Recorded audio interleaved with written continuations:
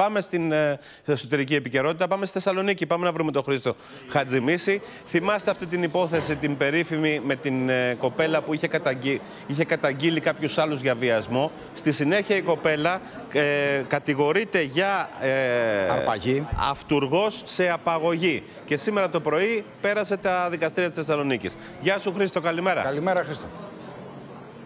Καλημέρα από τα δικαστήρια της Θεσσαλονίκης. Ε, είναι λοιπόν κατηγορούμενη για ηθική αυτουργία σε αρπαγή η 26χρονη, η οποία πέρασε πριν από λίγη ώρα το κατόφλι του δικαστικού μεγάρου με τον δικηγόρο της. Ε, ζήτησαν και πήραν αναβολή για τις 20 Δεκάτου.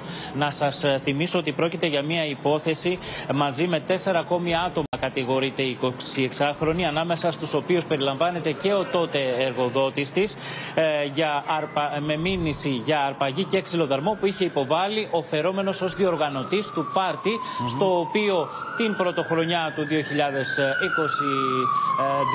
η 26χρονη κατήγγειλε ότι την είχε βιαστεί, ε, είχε υποστεί ομαδικό ε, βιασμό. Όπως είπε ο, ο δικηγόρος της 26χρονης, η κοπέλα βρέθηκε σε λάθος ώρα, τη λάθος στιγμή και εξέφρασε την πεποίθηση ότι η υπόθεση αυτή δεν πρόκειται να φτάσει καν στο ακροατήριο. Γεια σου Χρήστο, ευχαριστούμε πολύ. Καλημέρα στη Θεσσαλονίκη.